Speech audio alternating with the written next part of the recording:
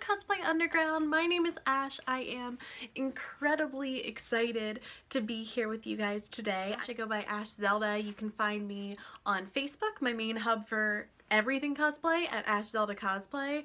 Um, that's the main central where I post all my cosplay everything um, across social media. I'm Ash Zelda, everything else I do.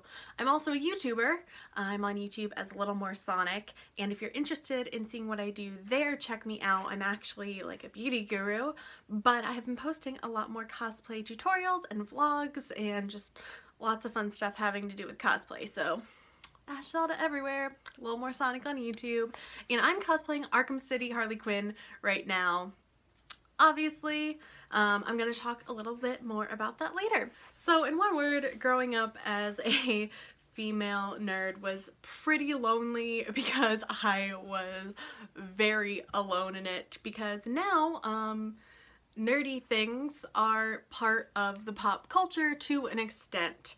Um, when I was little, they were not at all. Um, no one liked comic books. I was so into comic books that was like one of my big things um, because I read a lot. Like I read everything. I am an English major. I'm a huge literature nerd. Like that's my life. So it was natural that I would get into comic books if I was kind of going to get into any fandom. And I just got made fun of so badly. Like I played sports and they found out that um, I read comic books and they all just relentlessly made fun of me.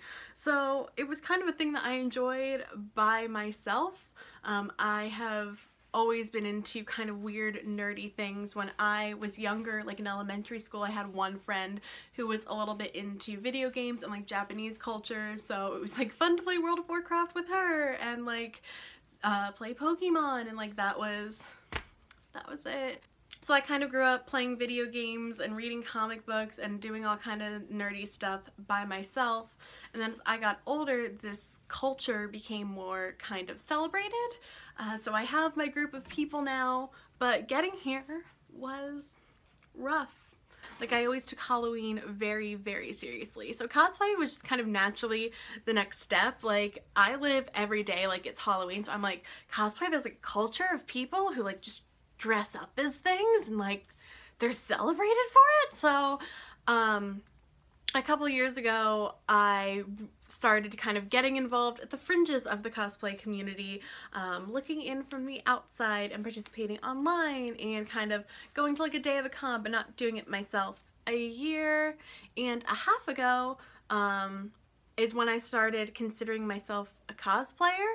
Um, I started actively making um, cosplays to go to cons. They weren't just costumes anymore. Like I wasn't prepping for Halloween 11 months early. I was actually um, planning on going to cons and doing things and I went to a really, really, really small con in Philadelphia where I live and I met a couple other cosplayers who were like very serious about it, um, some who were even professionals at this really small con who I got along really well with because I'd gone by myself, which I never do. I got ditched and I was sad and alone um, and confused and there were a couple cosplayers who kind of like, took me under their wing and were like get on Facebook, make a Facebook page, join the community, um, start putting pictures of yourself out there and I did and that like I said that was about a year and a half ago. So I largely got into cosplay number one because like I said I've always been a nerd. This was just another way to express it and you know I've always done theater so I act and I do costumes um, and I do makeup. That's literally my job.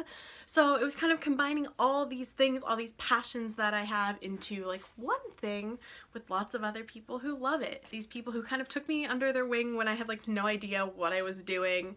Um, helped me set up my Facebook page and everything and I still talk to them to this day. I just found a group of people who are really great. So that is why I cosplay.